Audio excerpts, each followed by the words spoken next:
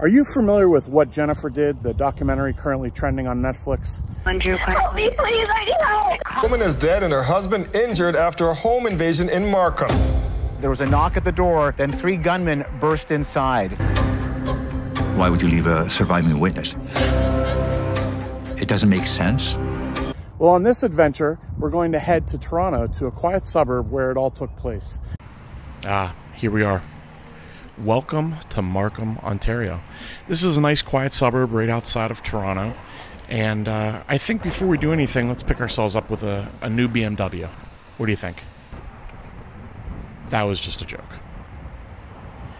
So, if you haven't seen the show, I don't want to give away a bunch of information. I'm going to try and keep it somewhat of a mystery, so you either watch the show or maybe just read the Wikipedia. I recommend watching the show because it's always interesting when you see what people are capable of, even if it's people you don't think could be capable of such a thing. So, what happens here is this takes place on a Monday back in November 8th of 2010.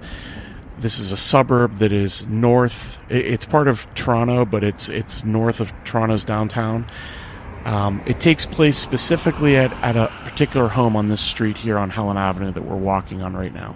So, you know, what I find interesting is when you're looking at these things is the criminals and murderers that are involved. Is this is what they saw? You know, it was at nighttime, but what was running through their heads? What were they thinking? What were the people that were involved in this conspiracy or this plot?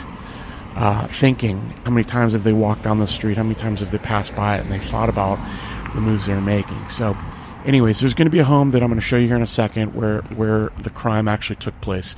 But the story centers around a family, uh, the Pan family, specifically Jennifer Pan, who's 24 years old, and her parents.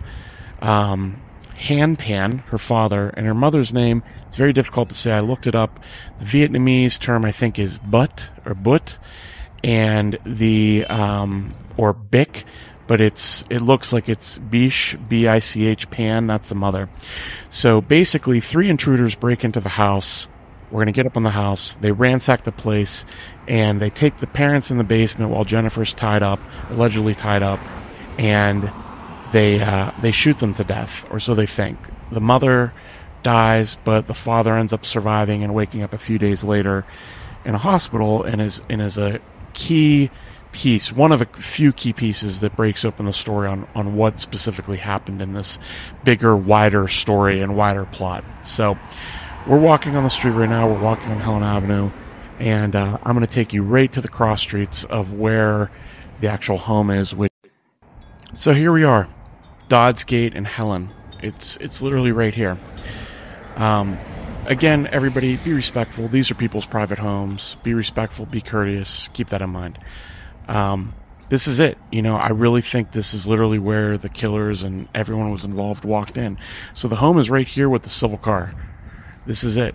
Um, this is the home. This is this is the doors they walked in. This is the door that was unlocked. Everything happened here. Jennifer's room, I believe, is that one right upstairs with the window. Um, I could be wrong, but it's either the parents' Um, what I find interesting is the security camera footage, which came from the home across the street over here, that was so huge in breaking up the case and showing that there was more parties involved. Um, it makes me wonder, you know, as we look here at the footage, which home that might have been. I tried to look around. I couldn't really tell. Again, 14 years ago, things have changed. People have moved, but this is it. Quiet street, not the kind of place you'd expect these types of things to happen. So as I give you one more chance here to get a look at everything again, again, it's the one with the silver car. Um, I want to thank everybody for watching and, you know, be sure to subscribe, be sure to like. It really helps our channel, helps us continue these types of videos. And if there's places you'd like us to see or, or check out or, or, stories you want us to get into, please leave us a note in the comments. You can check us out at sirstoria.com. We love this stuff. Sir Storia is about documenting history, the history that maybe is not found on Google Maps, and the lesser known things because we believe that history is around you everywhere. It's just forgotten. Our job is to make it unforgotten. So, thank you again. Like, subscribe, and uh, leave some notes on some stories or places you want us to check out.